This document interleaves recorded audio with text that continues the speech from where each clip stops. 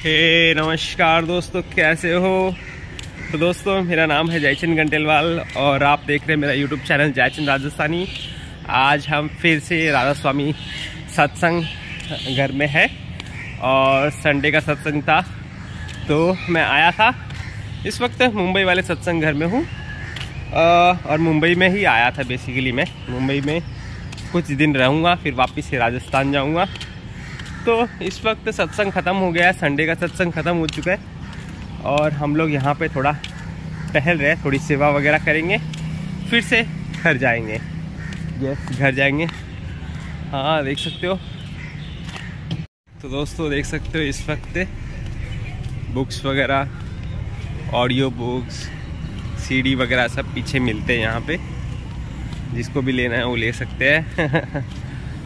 तो दोस्तों, इस वक्त बारिश का सीज़न चल रहा था तो ये घास वगैरह काफ़ी बड़े हो गए हैं और यहाँ पे ये टॉयलेट घर है।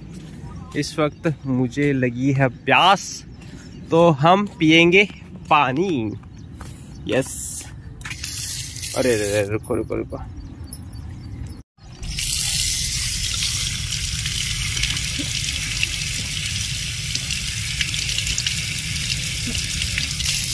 हा हा हा पानी पीने का मज़ा ही कुछ और है। टूंटी में से पानी पीने का। आहा। ये पानी का मज़ा कुछ और ही है दोस्तों।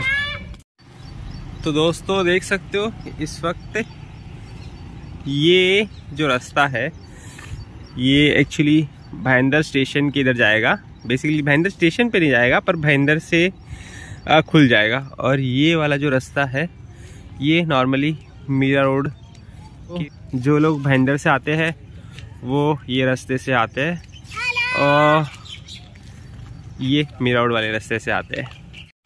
एक चीज़ दोस्तों यहाँ पे बहुत गज़ब की देखी जाती है सेवा भावना। और ये चीज़ मुझे लगता है जितने भी गुरुद्वारे हैं जितने भी सिख कम्युनिटी है वहाँ पे भी बहुत गज़ब की देखी जाती है।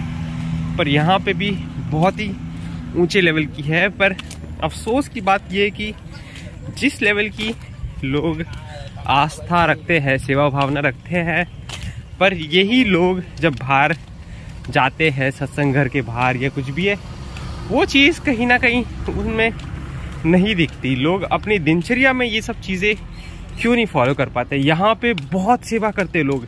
यहाँ पे मिट्टी की सेवा लेटरिन घर की सेवा, हर टाइप की सेवा लोग कर लेते हैं।